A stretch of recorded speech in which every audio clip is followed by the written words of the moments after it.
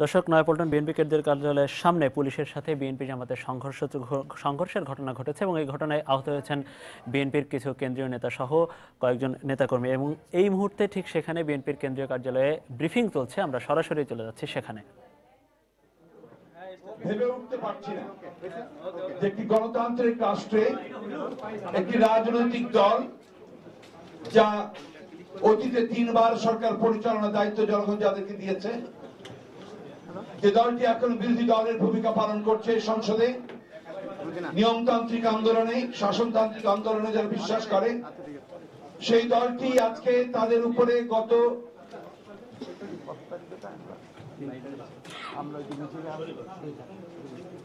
শনিবারে দুই তারিখে শান্তিপূর্ণ মিছিলের উপরে পুলিশের যে বর্বরচিত হামলা হয়েছিল, তার প্রতিবাদ জানাতে দেশে এই সরকারের ফ্যাসিস্ট বাহিনী যে গণহত্যা চালাচ্ছে তার প্রতিবাদে আজকে একটি বিক্ষোভ সমাবেশ বিএনপির পক্ষ থেকে ডাকা হয়েছিল। এবং এই সমাবেশে আপনারা নিজেরাই দেখেছেন যে কি বর্বরচিত ভাবে শান্তিপূর্ণ সমাবেশের উপরে নিরীহ মানুষদের উপরে কীভাবে গুলি করে আক্রমণ চালানো হয়েছে।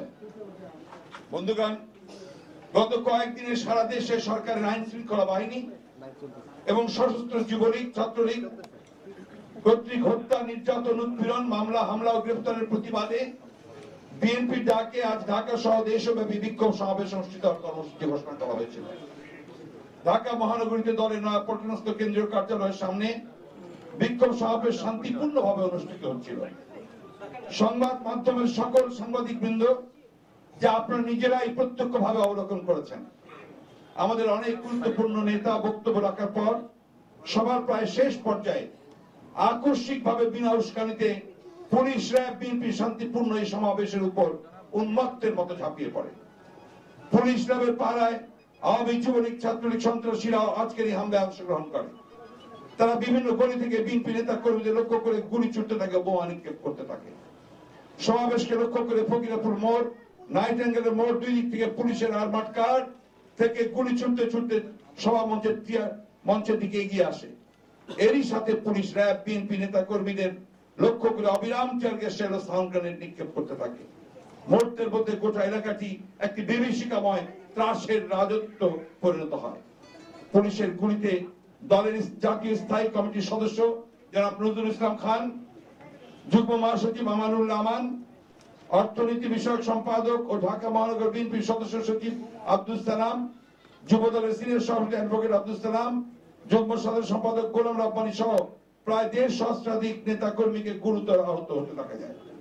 আপনারা এখন নিশ্চয়ই লক্ষ্য করছেন যে গোটা এলাকাটি রণক্ষেত্রে পরিণত হয়ে আছে। রণসজ্জায় সজ্জিত পুলিশ, র্যাব শান্তিপূর্ণ সমাবেশে নিরস্ত্র মানুষের উপর সশস্ত্র অবস্থায় ঝাঁপিয়ে পড়ে একটা ভয়াবহ ফ্যাসিবাদের একটি নমুনা প্রদর্শন করলেন। প্রিয় সাংবাদিক ভাই ও বোনেরা, আমরা প্রতিদিন আওয়ামী গণতন্ত্রের বৈশিষ্ট্যগুলি প্রত্যক্ষ করছি। গণহত্যা, গুম গুপ্ত হত্যা অপহরণ, বিভৎস নির্যাতন এবং মামলা, হামলা, নির্ভর এই সরকার, বর্তমান শাসক গোষ্ঠী, জনগণের স্বার্থ এবং জন তাদের জানমালের তোয়াক্কা করে না।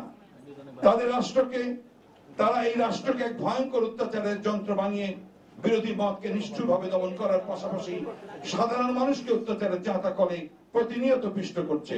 এরা দেশকে ধ্বংসের দ্বার প্রান্তে ঠেলে দিয়েছে। গত কয়েকদিনে সারা দেশে প্রায় একশো চুয়াল্লিশ জন মানুষকে এরা গুলি করে হত্যা করেছে। এরা ফ্যাসিবাদের বিষাক্ত থাবায় সবকিছু নিয়ন্ত্রণ করতে চাচ্ছে। সর্বব্যাপী দুর্নীতি, লুটপাট এবং দখলের পাশাপাশি সাধারণ মানুষকে হত্যা এদের নিত্যদিনের খেলা হয়ে দাঁড়িয়েছে। এখন কঠিন এবং চূড়ান্ত প্রতিরোধে এদের পতন ঘটানো ছাড়া মানুষের সামনে আর কোনো পথ খোলা নেই। আর ফিরে দেখার কিছু নেই।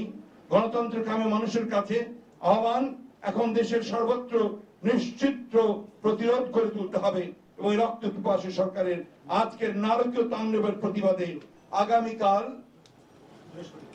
বৃহস্পতিবার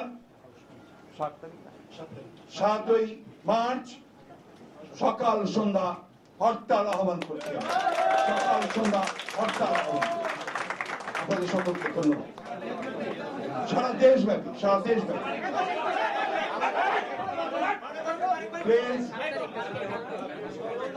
এই সরকারের নারকীয় তাণ্ডবের প্রতিবাদে